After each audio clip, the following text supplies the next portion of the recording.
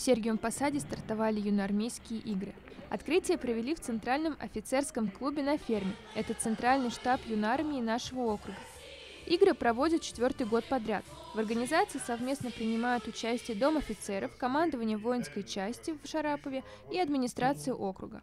Юноармейские игры включают в себя три этапа. А, сегодня мы присутствуем в Доме офицеров на интеллектуальном этапе, где ребята тестируются по основным вопросам истории нашей Родины. Впереди ребят ждут второй и третий этап игр – в которой юнормейцы покажут свою физическую подготовку. Например, будут обязаны сдать спортивные нормативы, предусмотренные ГТО, а также будут соревноваться в строевой подготовке и военных навыках, среди которых стрельба и сборка автомата.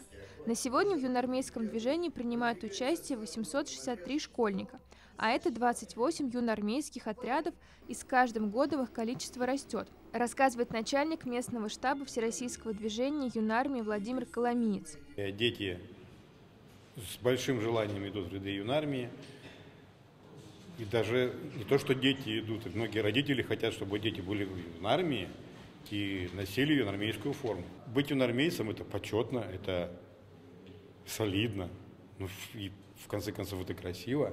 Некоторые идут покрасоваться, но мы им этого не позволяем, потому что все-таки есть какие-то критерии.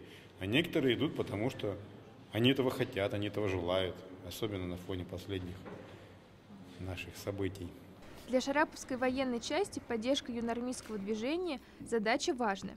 Может быть, в будущем из юных школьников вырастут достойные офицеры российской армии – ведь некоторые из них планируют поступать в военное училище. Мы обеспечиваем в первую очередь э, учебно-материальной базой, обеспечиваем своими инструкторами, военнослужащими, которые занимаются с детьми строевой подготовкой, огневой подготовкой. Помогаем им понять и развить в них качество именно э, патриотизма в первую очередь, да, потому что через армию, через э, то, что им интересно, мы в первую очередь прививаем им патриотизм, чтобы они стали достойными членами нашего общества.